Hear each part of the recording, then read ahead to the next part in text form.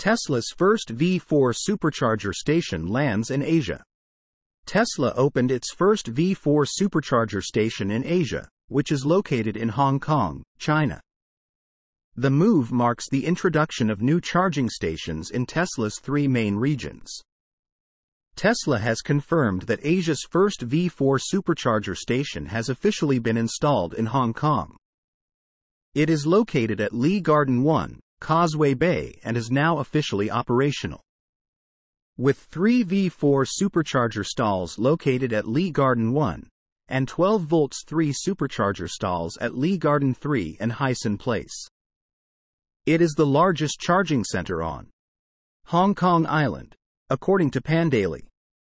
Tesla's regional director, Fan Jingyi, said that the V4 supercharger is equipped with longer charging cables to make it easier for owners of other brands to use. Current charging power is up to 250 kilowatts per vehicle. However, the system will be updated OTA in the future to improve charging efficiency. As for the charging fee, it will be similar to the current V3 system and will be approximately approximately 40 cents to 50 cents per kilowatt hour. Tesla is the most popular electric car brand in Hong Kong. As of August this year, of the 18,000 newly registered electric vehicles, 6,415 were Teslas.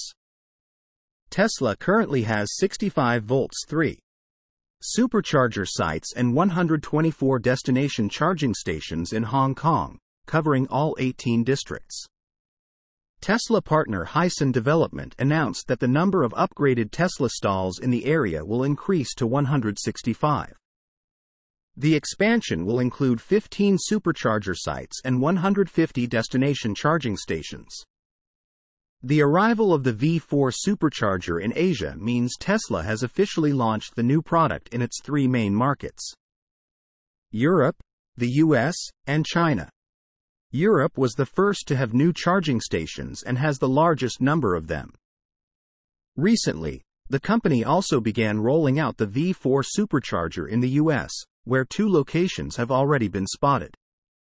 Source Reposted and summarized from Eva Fox at Tesmanian.